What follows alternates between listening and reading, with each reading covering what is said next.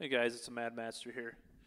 I'm just going to be doing like a weekly vlog, blog, podcast kind of thing just for shits and giggles and just whatever topic, you know, I come up with and that week, that given week I'll be putting up on my channel. So eventually I'm going to probably be doing a monthly full length podcast depending. So got a lot of hobbies and a lot of shit going on, so this is just another thing, but I don't care. So, the subject of today's video, even though there's no video, this would be a graphic on the fucking screen that you're looking at. I don't give a shit. Is Christianity.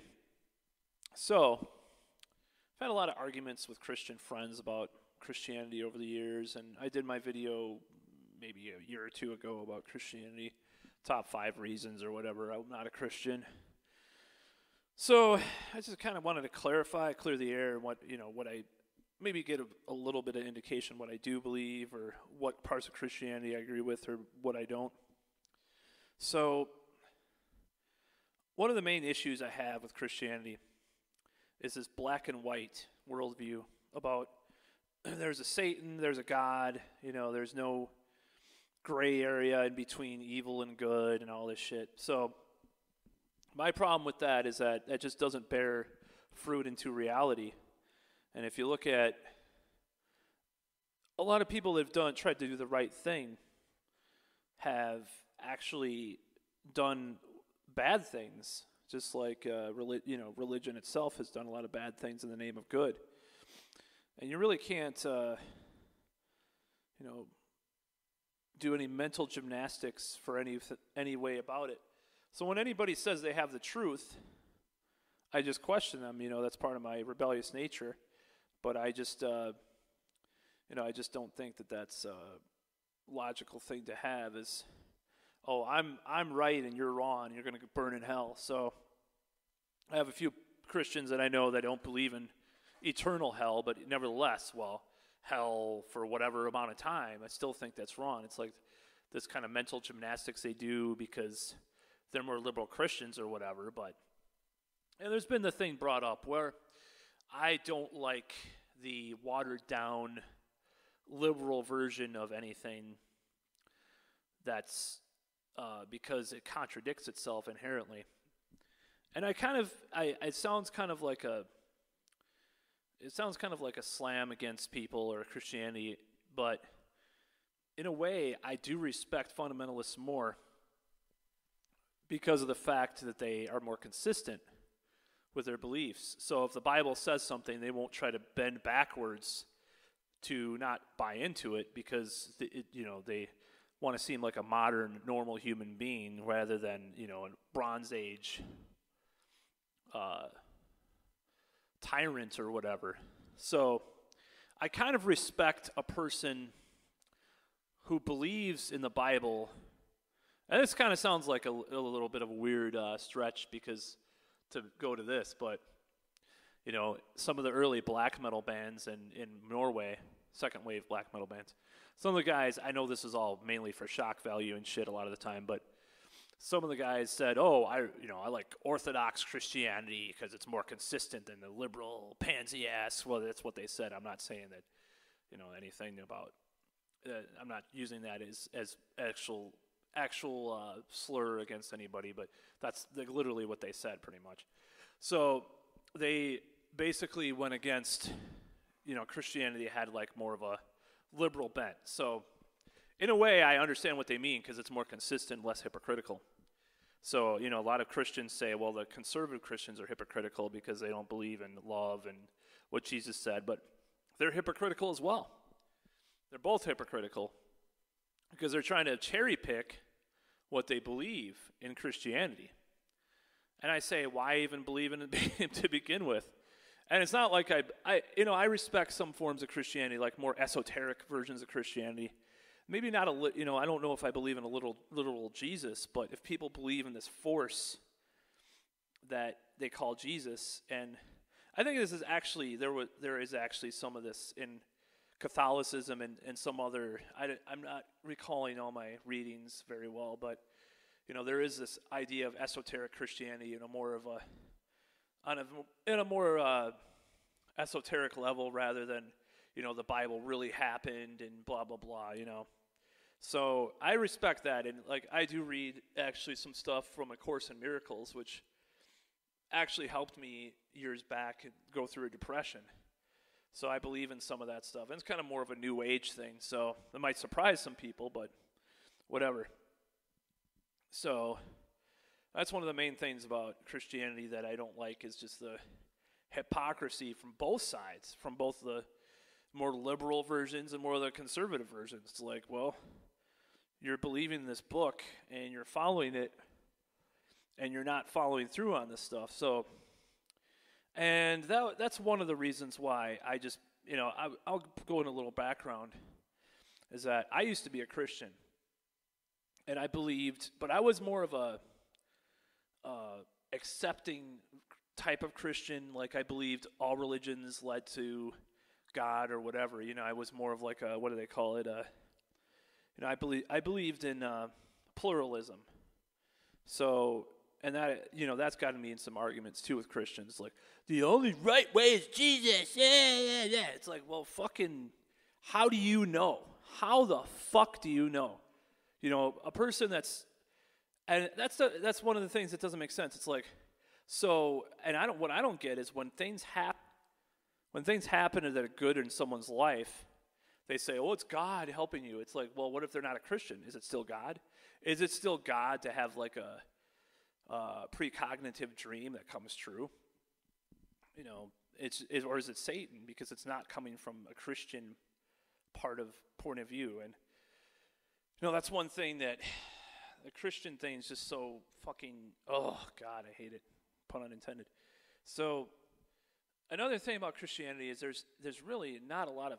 I mean, I, I will say there's just not a lot of evidence about a lot of the biblical events happening.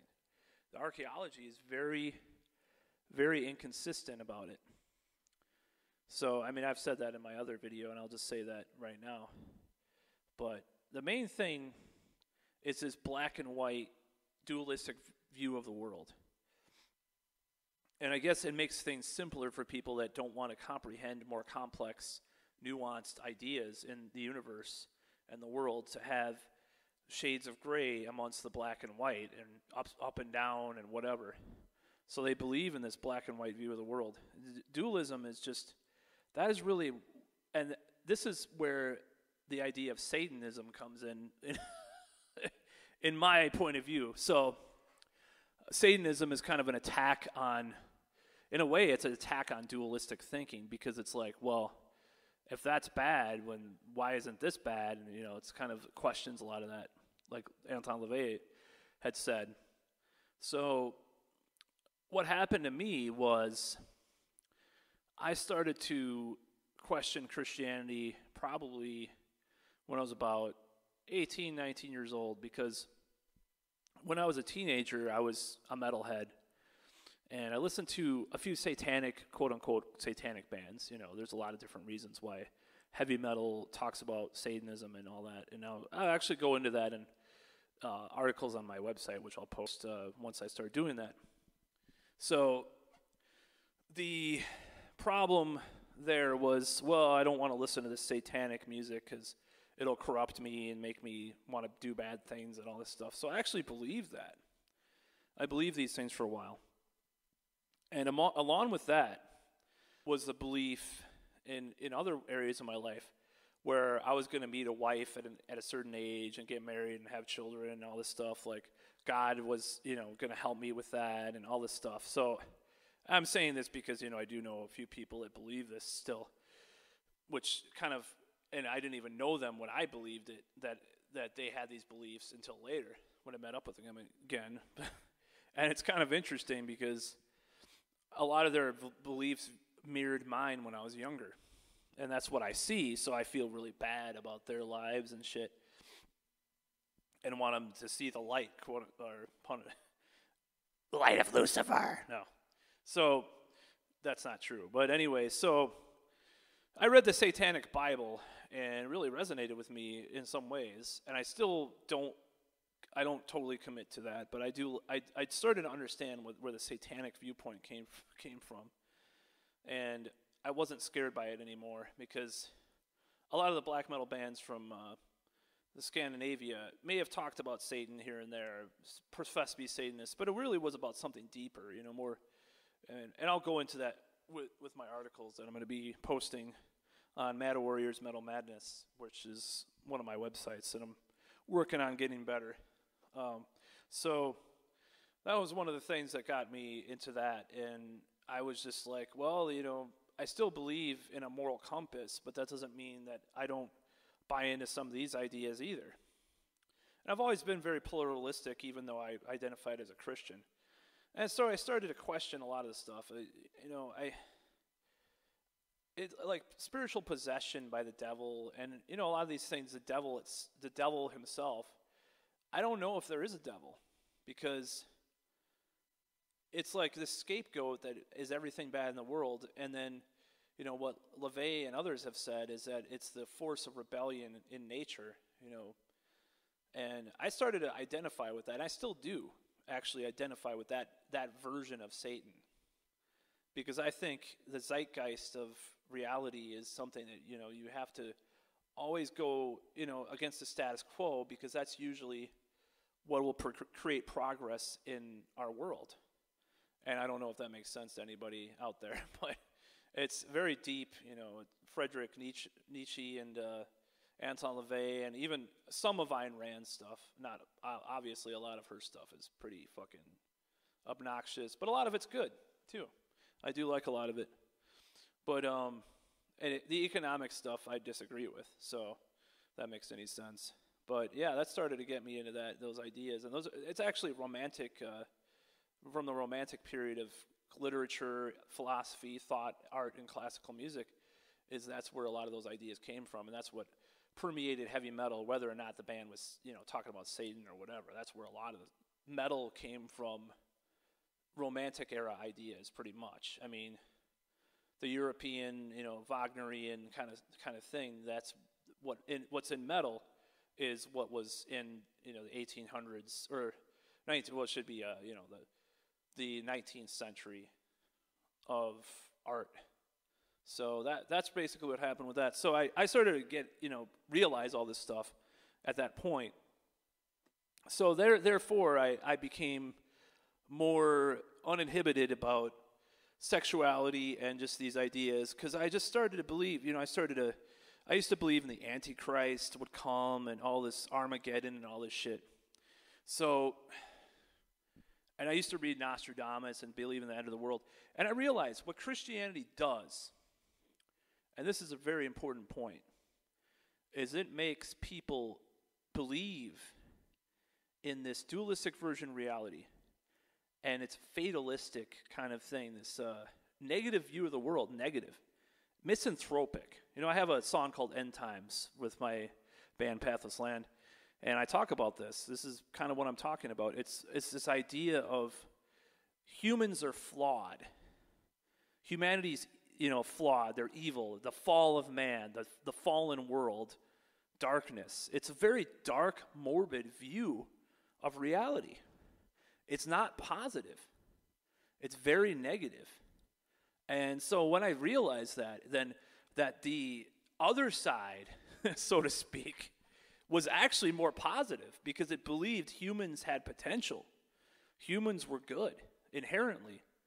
There's nothing wrong with a lot of what humans do because what happens with humans is when they repress certain emotions or repress things, that's when where the evil quote unquote comes about. Not always, but you know, that's what that's what like a lot of these Republican politicians are all into like fucking, you know, they're pedophiles or they're fucking whatever, you know, they're doing stuff in the bathroom and they're, you know, passing anti-gay laws, but then they're, you know, gay gay in some Minnesota airport bathroom or something. It's just all this, you know, repressed shit. So I realized that and I was like it was kind of a it was kind of a paradigm shift. And so that really got me out of Christianity. And I still believe in some of the Christian beliefs, you know, about doing good to others and the golden rule and all that. But I don't, you know, I don't believe that's originally from Christianity. It was actually an older, uh, some older philosophies that came about, and Christianity kind of soaked up. But I still believe in some of those things. But that does not mean that I believe in this view of the, the universe and the world as being flawed.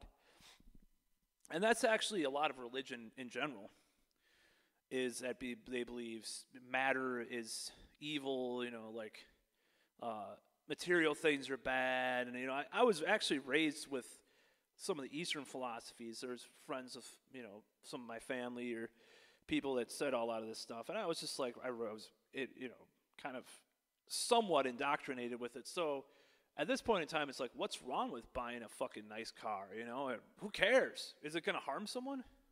Is it going to harm someone to, to enjoy something in life? So that's really where I started to change. And I started to view these religions as, uh, and especially Christianity, as very flawed and very inhuman and dark. You know, so Kali Yuga, it's like the uh, Hindu concept that we're living in the end times or the dark the dark period of humanity. And it's like, well, wow, well, if you're going to view the the world as that, isn't it kind of a self-fulfilling prophecy? If you're going to view humans as flawed, you're going to start unconsciously treating them in a you know bad way, and that's you're superior because you know this knowledge this God's, you know, the gods or God's knowledge about how humans really operate. And to me, that's just the most smug, arrogant, fuckface mentality that anybody could have. And that's why I am fervently, in many ways, anti Christian at this point. So that's kind of what I had to say about that. And that's, that's a very uh, deep philosophical disagreement with organized religion and Christianity in general, because I don't think humans are as flawed as people say. And it, permeates political ideas too. So whether or not you're on the left or the right, the left believes people are, you know, the, actually the left does believe in the potential of people in a certain way that's different than the right. But they're both, they both believe, oh, people are, they're so flawed and we have to do this, we have to do that. It's like, it's, it's like a humanity's low self-esteem. It's like we're so bad and terrible and evil. And it's like, and that's that's really what I don't like about religion and Christianity. Just they, the dark death cult of our modern world. This guy died. You know, it's it's worshiping death literally, because you're worshiping a guy that died, purportedly. You know, if he actually existed which I am split on too, because there's not been uh, compelling evidence. There's been some evidence that you know there was things that were forged. There's been there's been no there's no there's actually no contemporary meaning when he was alive evidence that Jesus existed. Not not one shred of evidence. I mean, there's been discoveries that have been disputed later, and then they're just disproven pretty much and I don't say that to like say that you shouldn't believe in God or Christianity, but I just say that as like, well, you know, it's like you're following something that's not even if you're if you're following something so fervently that's not even real or you can't even and you're you're trying to prove that it's real, that's very flawed to me. I that's why I respect the whole like this vague concept of God. If you believe in that and you you're not uh, literal about Christianity, I respect that more. But if you actually believe that this shit happened, like the flood and like uh, Garden of Eden and all this shit, that's just fucking nuts. I mean, it's a metaphor, obviously. And it's a metaphor that I don't like because the metaphor is that humans, oh, humans bad. Oh, we're bad.